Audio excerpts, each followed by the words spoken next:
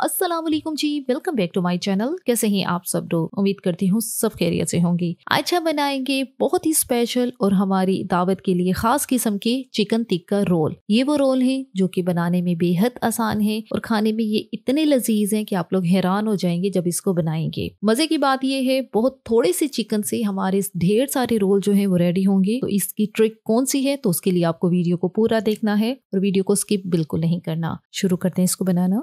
सबसे पहले जो है, हमने यहाँ पे एक बाउल के अंदर बोनलेस चिकन लिया है और चिकन जो है, यहाँ पे 200 ग्राम है। अब चिकन के अंदर शामिल करेंगे दो टेबल स्पून दही, एक टीस्पून लहसुन का पाउडर हाफ़ टी स्पून अदरक का पाउडर अगर अदरक और लहसुन का पाउडर नहीं है तो आप अदरक और लहसुन का पेस्ट डाल दें। एक टीस्पून लाल मिर्च पाउडर एक टीस्पून धनिया पाउडर हाफ़ टी स्पून ज़ीरा पाउडर एक टीस्पून नमक हाफ़ टी स्पून काली मिर्च का पाउडर, हाफ़ टी स्पून कुटी लाल मिर्च, एक टेबल स्पून लीमू का रस और एक पिंच यहाँ पे डाला है ऑरेंज फ़ूड कलर ये बिल्कुल ऑप्शनल है। अगर आपके पास फ़ूड कलर पड़ा है तो डाल दें, नहीं पड़ा तो इसको स्किप कर दें। अच्छी तरह से चिकन के अंदर ये जो मसाले हमने डाले हैं, इनको मिक्स करने सारे बेसिक मसाले ही हैं जो हमने चिकन के अंदर डाले हैं। अच्छी तरह से मिक्स कर लिया है। अब चिकन को हम 10 से 12 मिनट के लिए रेस्ट के लिए छोड़ देंगे। 10 मिनट हो गए हैं। यहाँ पे एक हमने पैन लिया है और उसके अंदर डालेंगे दो टेबल स्पून ऑयल ऑयल जो है इतना ही डालना है, इससे ज़्यादा नहीं डालना। जैसे ही ऑयल हमारा गर्म होते तो इसके अंदर डालेंगे हम अपना चिकन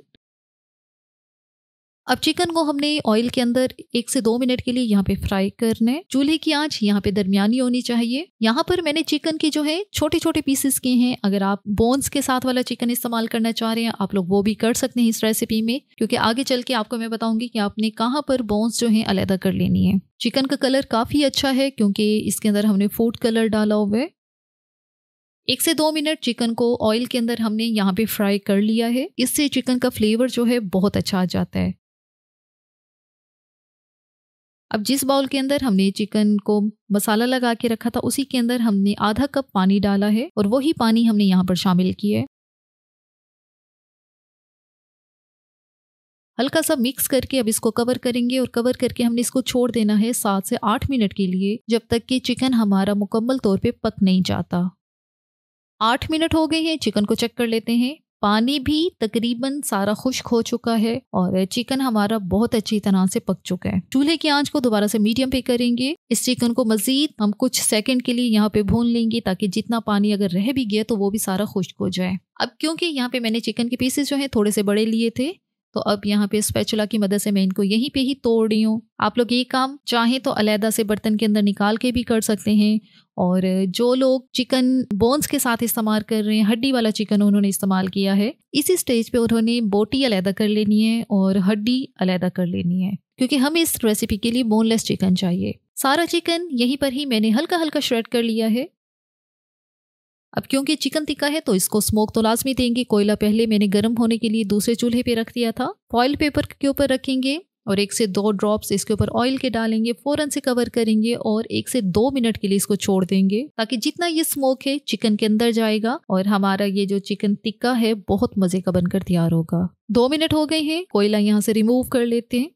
अच्छी तरह से इसको मिक्स करेंगे दोबारा और अब हम इस चिकन में शामिल करेंगे अपनी कुछ सब्ज़ियाँ, जिसमें शिमला मिर्च है, साथ गाजर है और साथ बंद गोभी है। सारी चीज़ें जो है, ये आधा आधा कप है। शिमला मिर्च को भी बारीक सा काटा है, साथ गाजर को मैंने कश कर लिया है और बंद गोभी को भी इसी तरह बहुत ही फाइन सा बारीक सा काटा है। क्योंकि ज़ाहिर सी बात है, हमने इनके जो है, रोल बनाने हैं तो बहुत मोटी सब्ज़ियाँ तो हम नहीं डालेंगे इसके अंदर फाइन सी करके डालेंगे। मुझे ये तीनों ही सब्ज़ियाँ पसंद है तो मैं इन तीनों का ही इस्तेमाल कर रही हूँ। आपको जो सब्ज़ी पसंद है आप वो डालें। एक से दो मिनट के लिए हमने सब्जियों को चिकन के साथ अच्छी तरह से यहाँ पे जो है मिक्स करना है और तब तक सब्ज़ियाँ भी हमारी काफ़ी सॉफ्ट हो जाएँगी। और अब हम इसमें शामिल करेंगे एक टेबल स्पून चिल्ली सॉस और एक टेबल स्पून ही सोया सॉस ये वाली सॉसेज शामिल करने के बाद दोबारा से चिकन को वेजिटेबल के साथ अच्छी तरह से मिक्स करेंगे। अब ये जो चिकन है, बहुत ही स्मोकी से फ्लेवर के साथ है और जब इसके अंदर सब्ज़ियाँ गई हैं तो सबका फ्लेवर जो है बहुत ही मज़ेदार स्मोकी सा हुआ है। तो बस अब यहाँ पे हमारा ये मिक्सर जो है रेडी हो चुका है टिक्का रोल बनाने के लिए। अब पहले हमने इसको अच्छी तरह से ठंडा करना है, फिर उसके बाद इसको हमने एक बाउल के अंदर ट्रांसफ़र करना है।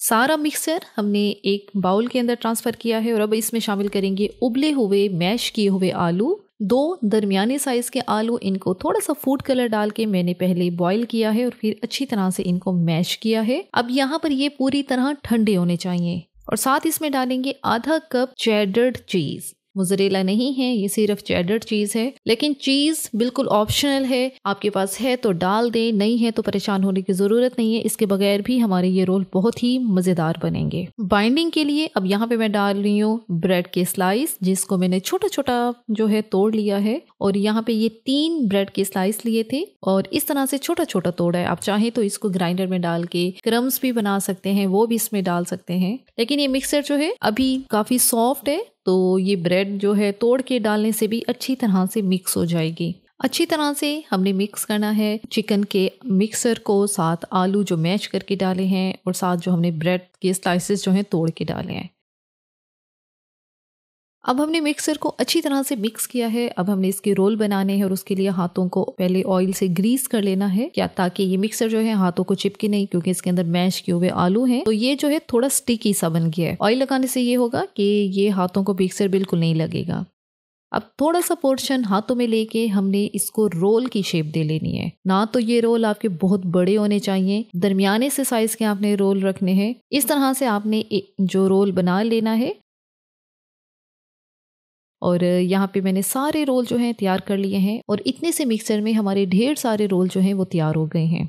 और आपने देखा कि टिक्का रोल जो है, हमने बिल्कुल थोड़े से चिकन से ही काफ़ी सारे टिक्का रोल जो है वो बना लिए हैं, क्योंकि हमने इसको थोड़ा सा कंपनसेट कर दिया है सब्जियों के साथ और आलू के साथ। तो इससे ये हुआ है कि इसका टेस्ट और फ्लेवर भी बहुत ज़्यादा बढ़ा है और क्वांटिटी में भी ये काफ़ी ज़्यादा जो है रेडी हुए हैं। अगला स्टेप जो है, इनको कोट करने का है और उसके लिए यहाँ पे मैंने ब्रेड क्रम्स लिए हैं, साथ मैंने अंडा लिया है और उसके साथ लिया है खुश्क मैदा। अंडे को अच्छी तरह से पहले बीट करना है। अंडे में थोड़ा सा दूध डालेंगे।